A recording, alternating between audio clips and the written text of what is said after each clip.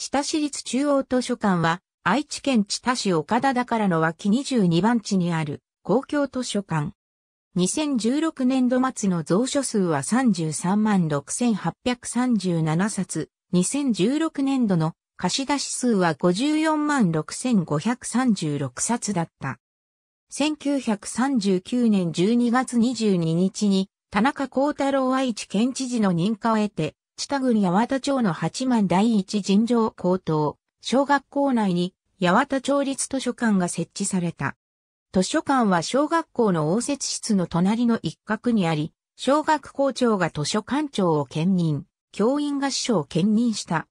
設置当時の予算は30円、うち図書購入費は224円であり、1939年度末の蔵書数は124冊だった。太平洋戦争後の1947年4月1日には、学生改革に伴って蔵書が八幡町立八幡中学校に移管された。専用の図書室は存在せず、廊下の約一坪のスペースに書棚が置かれていた。1947年時点の蔵書数は209冊だった。1955年には八幡町、岡田町、朝日町が合併して知多町が発足した。1956年8月4日には図書館の管理及び事務のすべてが中学校長から八幡公民館長に引き継がれ、蔵書が知多町役場八幡支所に移管された。1970年には、知多郡知多町が市政施行して知多市となり、知多市立八幡図書館と解消した。1972年5月1日には、知多市八幡公民館が新築竣工し、蔵書が八幡公民館の図書室に移管された。知多市八幡公民館は、名鉄と小鍋線寺本駅から南に500メートルの場所にあった。1980年の知多市立中央図書館、開館後、知多市立八幡図書館は、知多市立八幡公民館図書室に改称している。知多市が図書館条例を制定したのは1980年4月1日のことであり、それまでは図書館法における図書館ではなかった。1980年3月31日時点の蔵書数は1589冊だった。知多市は1978年10月に図書館の建設構想を打ち出し、12月に基本構想を策定した。1979年1月から3月に設計を行い、3月には石油貯蔵施設設立地対策等交付金を図書館建設に充てることが決定している。6月には建築工事に着工し、1980年3月に竣工。3月には図書館条例を制定し、8月に知多市立中央図書館が開館した。開館時の蔵書数は3万11冊だった。開館後の10月には月間の図書館だよりの発行を開始し、11月には図書館ボランティアの要請を開始した。1981年3月には6カ所のステーションを巡回する移動図書館車の運行を開始した。1981年9月には開館1周年記念公演、本に親しむみんなの集いを開催した。1982年10月には小説家の城山三郎が講演した。1985年10月には開館5周年記念公演として児童文学者の勝尾金也が講演した。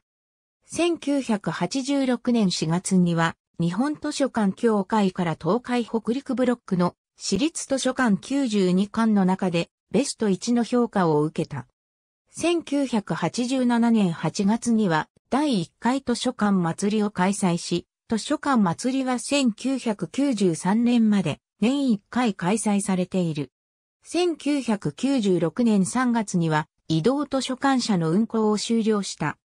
1998年5月には、知多郡岡田町出身の歴史学者であり、知多市名誉市民の竹内理蔵コーナーを充実させた。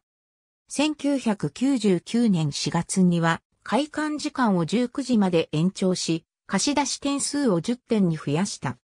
開館時間を19時とするのは、東海市の東海市立中央図書館に次いで知多半島五市五町で2例目である。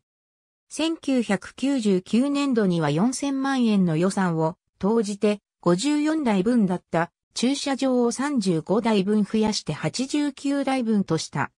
子供読書年とされた2000年10月には児童文学者の斎藤厚夫が講演した。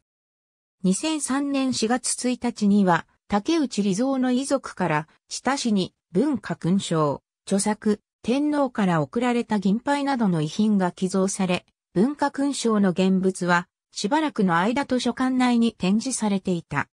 同年7月にはインターネット用パソコンが設置された。2006年2月には前年に芥川賞を受賞した中村文則による文学講演会が行われた。2007年7月にはインターネット予約サービスを開始した。2008年4月には前年に芥川賞を受賞した諏訪哲司による文学講演会が行われた。諏訪の芥川賞受賞作、あさっての人を録音図書にしようと許諾を得る際に講演会の話が持ち上がったという。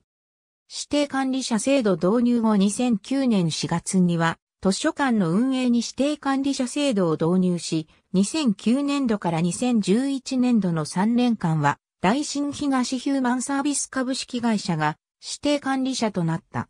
これを機に10時だった開館時間が9時に早められている。2010年1月には高齢者や障害者向けの宅配貸し出しサービスを開始した。地帯半島五市五町では東浦町の東浦町中央図書館が障害者向けに類似のサービスを展開していたが、高齢者も対象とするのは知多市立中央図書館が知多半島で初である。開館から30年を迎えた2010年度には児童向け、一般向け、英文多読向けの3種類の読書手帳の配布、絵本作家の秋山忠氏による。絵本ライブ、製本業者による本作り講座、館内施設見学ツアー、保護シート調布の仕事体験など、本年度限りのイベントを。数多く開催した。2010年8月から蔵書への IC タグの調布を進め、11月には IC タグを利用した。自動貸し出し機とセキュリティゲートの運用を開始した。2011年3月にはエッセイストの内藤陽子による文学講演会が開催された。7月には歴史小説家の桐野作人による歴史講演会が開催され、8月には日本多読協会理事の宮下泉による英語多読講座が開催された。2012年度から2013年度の3年間は株式会社図書館流通センターが指定管理者となった。これを機にデータベースの閲覧サービスを導入し、月曜日が祝日だった場合にも翌日を開館日とした。2012年5月には、童話作家の角野英子による作家講演会が開催され、2013年3月には、教育者の宮本信春による作家講演会が開催された。2014年2月には歴史小説家の伊沢元彦による作家講演会が開催され、同年6月には推理小説家の有栖川アリスによる作家講演会が開催された。同年の日本図書館協会第100回記念大会では、製本ボランティア団体、かがりが感謝状を授与されている。2015年2月には絵本作家の高畑淳による絵本制作ワークショップが開催され、10月には小説家の瀬尾舞子による作家講演会が開催された。同年11月には読み聞かせボランティアのお話、水車が緑樹宝賞を受賞している。2016年2月には絵本作家の宮西達也による作家講演会が開催された。同年11月には、図書館ボランティア、音訳、水車がボランティア功労者として、厚生労働大臣表彰を受けている。2017年1月には、小説家の谷村志保による作家講演会が開催された。2016年からは隣接する東海市にある成城大学との連携講座を行っており、2017年5月20日と6月10日にはリハビリテーション学部の教員による認知症講座が開催された。知多市は2016年10月に名鉄と粉目線朝倉駅周辺の整備のあり方を考える検討会議を設立し、2017年8月には、駅西側の私有地に図書館などが入る複合商業施設、ホテルマンションを誘致する計画を提案した。知多市は2017年度内の基本構想策定と2020年度以降の事業着手を目指している。2015年度から2019年度の5年間は、引き続き株式会社図書館流通センターが指定管理者となった。知多市は2017年4月に公民館をまちづくりセンターに改称しており、営利、宗教、政治目的での利用も可能とした。知多市には、知多市立中央図書館の他に、朝日まちづくりセンター図書室、東部、まちづくりセンター図書室、八幡まちづくりセンター図書室の3つの公民館図書室がある。知多市中央図書館は、知多市岡田にあるため、岡田まちづくりセンターには図書室が設けられていない。2020年10月には、八幡町づくりセンターが、八幡コミュニティセンターに改称した。知多市新米小あざ大口46番地にある朝日、町づくりセンターと書室の床面積は70平方メートルであり、5台の閲覧机、20脚の閲覧席がある。2016年度末の朝日公民館と書室の蔵書数は9344冊、2016年度の朝日公民館図書室の貸し出し数は1万1014冊だった。知多市八幡あざ南大平地51番地にある東部町づくりセンター図書室の床面積は44平方メートルであり、6台の閲覧机、36脚の閲覧席がある。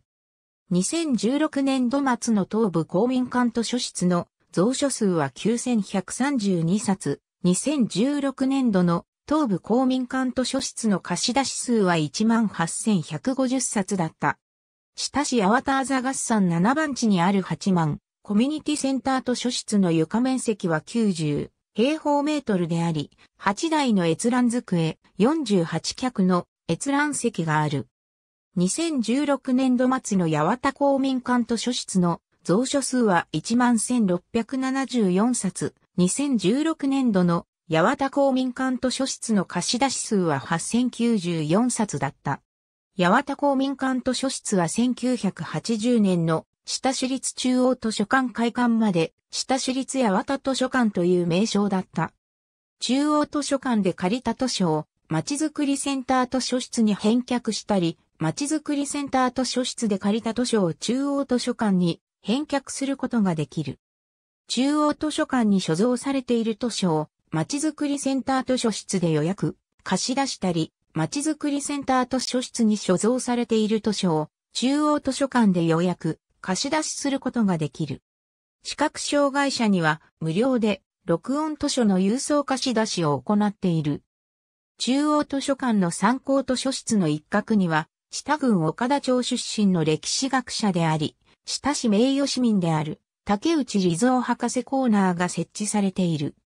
竹内の遺族からの寄贈本1968冊、雑誌製本134冊、図書373冊、計2475冊を所蔵している。